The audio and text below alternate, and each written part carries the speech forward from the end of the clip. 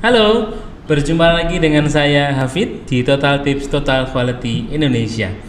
Anda orang tua yang super sibuk, yang rutinitas kita di kantor sangat padat sekali, dan mungkin kita kehilangan waktu bersama keluarga tercinta kita, terutama anak-anak kita. Nah, jangan skip video ini, tonton sampai akhir. Saya akan membagikan tips parenting untuk orang tua yang super sibuk supaya kita bisa memberi waktu untuk keluarga kita di rumah, terutama adalah anak-anak kita.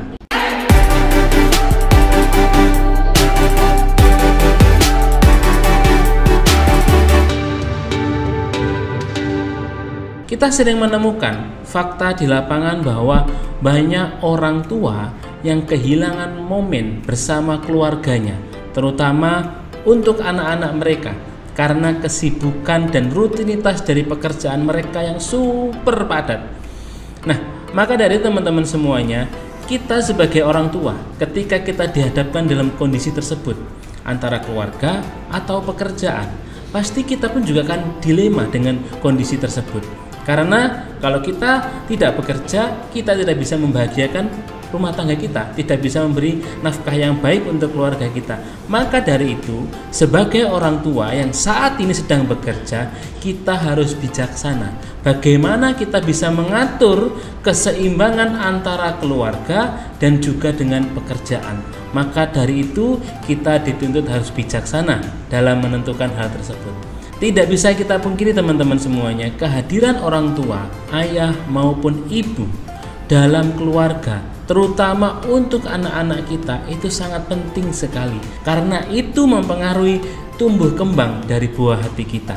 Maka dari itu saya akan membagikan tips bagaimana supaya kita walaupun saat ini bekerja dan super sibuk tetapi kita bisa memberi pola asuh yang baik untuk anak-anak kita. Tips yang pertama, buat jadwal atau mengatur jadwal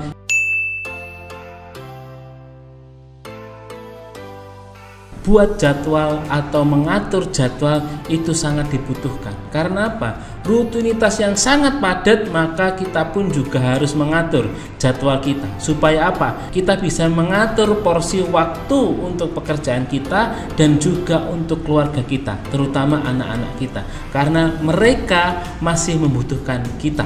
Contoh dalam satu hari kita membuat jadwal kapan kita orang tua baik ayah maupun ibu itu tiba di rumah dan itu kita berkumpul bersama dengan anak-anak kita. Kita perlu mengatur jadwal tersebut supaya apa?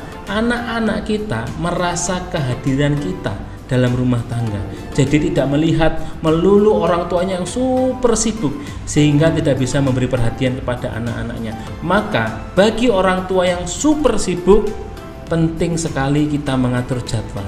Mengatur jadwal untuk bagaimana waktu bekerja, bagaimana waktu bersama keluarga kita. Selain itu juga manfaatkan waktu akhir pekan yang mungkin kita sudah tidak bekerja lagi untuk anak-anak kita. Kita bisa makan malam bersama, kita bisa jalan-jalan ke mall mungkin atau mungkin ke tempat-tempat yang lain yang membuat anak-anak kita bahagia. Jadi, sebagai orang tua yang super sibuk, kita pun juga harus membuat jadwal. Jadwal untuk keluarga kita dan jadwal untuk pekerjaan kita. Supaya apa? Ada harmonisasi dalam rumah tangga kita. Tips yang kedua, sempatkanlah bertanya.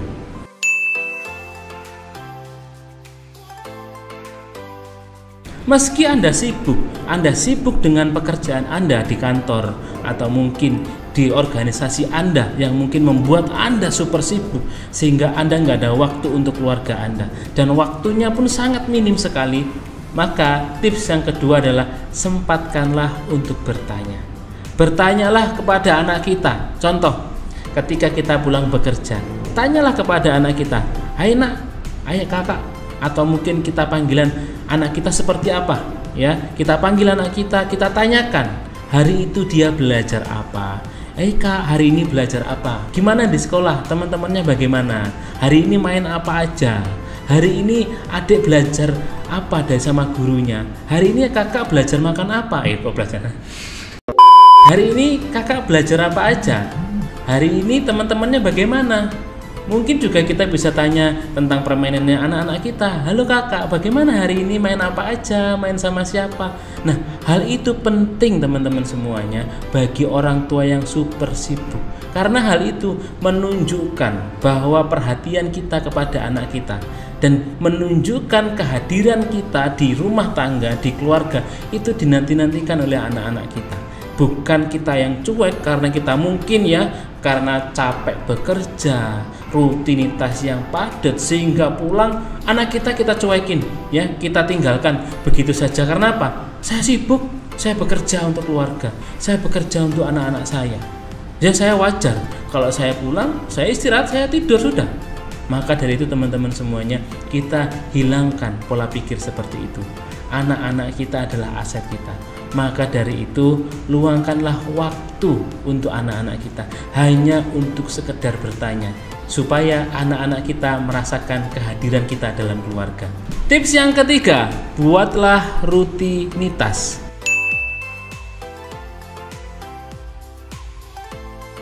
Bagi seorang ayah atau ibu yang saat ini masih bekerja dan rutinitasnya sangat padat sekali, membuat rutinitas rutin yang dilakukan setiap hari itu sangat penting terutama untuk membangun harmonisasi dalam rumah tangga kita, dalam keluarga kita. Contoh yang sederhana, kita meluangkan waktu sebelum berangkat bekerja dengan makan bersama, makan pagi bersama di meja yang sama ya, kita saling bercengkrama, saling bercerita, kisah-kisah yang mungkin membuat anak kita tertarik dan sebagainya. Atau mungkin rutinitas-rutinitas yang lain, bisa olahraga di pagi hari. Intinya kita melakukan rutinitas ya yang kita jalankan secara konsisten dan setiap hari. Supaya apa? Anak-anak kita tetap merasakan kasih sayang dari orang tuanya sehingga momen-momen tersebut bisa menjadi pengobat bagi anak-anak kita dan jadi momentum yang sangat ditunggu-tunggu untuk istri, untuk suami, untuk anak untuk bisa berkumpul bersama. Maka dari itu buatlah rutinitas yang konsisten. Tips yang keempat, manfaatkan waktu luang.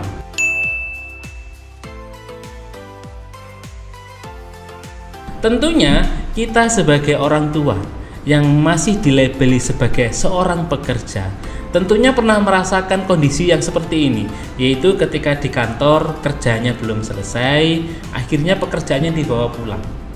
Sehingga apa? Ketika di rumah pun yang seharusnya kita gunakan waktu kita untuk berkumpul dengan anak-anak kita itu akhirnya terbuang sia-sia ya bukan sia-sia sebenarnya. Ya karena itu untuk pekerjaan kita. Tetapi alangkah baiknya jika kita bijaksana menggunakan waktu tersebut. Ketika ada waktu luang manfaatkanlah untuk mempersiapkan pekerjaan Anda. Pekerjaan Anda dengan baik. Tata agenda-agenda Anda. Sehingga apa? Ketika sampai di rumah Anda sudah fokus dengan keluarga Anda. Ya contoh mungkin ketika bagi orang tua yang uh, ketika perjalanan ke rumah naik angkutan umum atau mungkin uh, naik taksi dan sebagainya gunakanlah waktu luang tersebut. Untuk apa? Mungkin menyelesaikan pekerjaan-pekerjaan kita yang di kantor. Kita hubungi klien kita kita membalas pesan-pesan elektronik dari klien-klien kita. Itu kita gunakan waktu luang. Sehingga apa? Ketika kita tiba di rumah fokus kita adalah untuk anak-anak kita. Karena anak-anak kita hanya mendapatkan waktu kita sangat singkat sekali maka dari itu kita harus bijaksana ketika kita menjadi orang tua yang saat ini masih bekerja. Manfaatkanlah waktu luang untuk menyelesaikan pekerjaan Anda dan sampai di rumah fokuslah untuk anak-anak Anda. Tips yang kelima, jangan buat anak kita sibuk.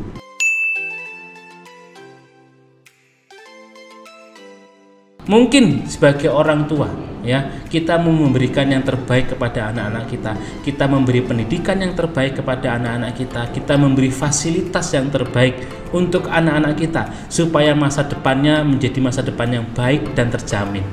Nah, tetapi kita sebagai orang tua jangan membuat anak kita sibuk. Karena apa? Kalau kita membuat anak kita sibuk ya dengan aktivitas contoh les kursus renang atau mungkin yang lain. Nah, ketika kita memilih hal tersebut itu baik memang untuk kebaikan mereka. Tetapi pastikan kita menyusun jadwal dengan baik. Kembali lagi di tips yang pertama, buatlah jadwal yang baik supaya apa? anak kita sibuk, kita sibuk sehingga apa? Tidak ada hubungan yang baik antara anak dengan orang tua. Hubungannya akan semakin jauh. Karena apa? Punya kesibukan masing-masing. Maka dari itu, ketika kita menyibukkan anak kita dengan kegiatan di luar, di luar sekolah mungkin, ekstrakurikuler, kursus atau les dan sebagainya, pastikan kita mengatur jadwal dengan baik dan pastikan ada waktu di mana kita bisa berkumpul bersama-sama dengan anak-anak kita dan tentunya harus ada orang tuanya juga supaya keluarga ini bisa tercipta namanya harmonisasi.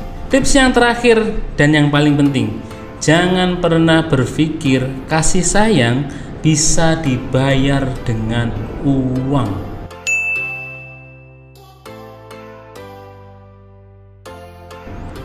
Ini yang mungkin yang banyak mungkin kita lihat ya kejadian-kejadian yang bagaimana. Orang tua itu selalu ngomong begini aku sibuk bekerja untuk cari nafkah untuk cari uang untuk anak-anakku untuk istriku. Sehingga apa? Itu sebagai pembenaran sebagai alasan orang tua untuk apa? Tidak memberi kasih sayang kepada anak-anaknya. Sehingga apa? Waktunya setiap hari hanya sibuk untuk bekerja tetapi lupa memberi kasih sayang kepada anak-anaknya. Maka dari itu, kita sebagai orang tua harus bijaksana. Ya, bijaksana bagaimana kita bisa memberikan yang terbaik untuk anak-anak kita, bukan hanya sekedar materi, tetapi kita juga harus memberi kasih sayang. Nah, teman-teman semuanya, bagi kita semuanya, bagi orang tua yang saat ini masih bekerja, maka kita harus menjadi orang tua yang bijaksana Jangan berpikir bahwa kasih sayang bisa digantikan dengan uang. Anak-anak kita membutuhkan kehadiran kita di keluarga. Anak-anak kita membutuhkan nasihat dari kita. Anak-anak kita membutuhkan waktu untuk kita. Anak-anak kita membutuhkan waktu kita untuk kita sekedar hanya mungkin saling sapa, bercerita, atau mungkin hal-hal yang lain yang membuat kedekatan rumah tangga itu lebih baik lagi. Ketika kita berpikir seperti pemikiran yang tadi, kasih sayang bisa digantikan dengan uang. Itu sejatinya sudah membentuk anak kita menjadi anak yang manja. Ketika dia dewasa, ketika dia besar, mereka akan susah untuk menjadi orang-orang yang mandiri. Maka dari itu, kita sebagai orang tua bijaksanalah dalam menentukan sikap ketika kita bersama anak-anak kita berilah kasih sayang kepada mereka bukan hanya dengan uang uang memang bisa meningkatkan menambah kadar kebahagiaan. Tetapi anak-anak kita butuh sentuhan dari kita sentuhan dari hati ke hati. Itu sangat dibutuhkan anak-anak kita. Maka dari itu bagi orang tua yang super sibuk ayo hari ini kita mulai menata keluarga kita supaya menjadi keluarga yang harmonis ada hubungan yang baik antara anak dan orang tua. Nah, teman-teman semuanya, tadi adalah tips parenting bagi orang tua yang super sibuk.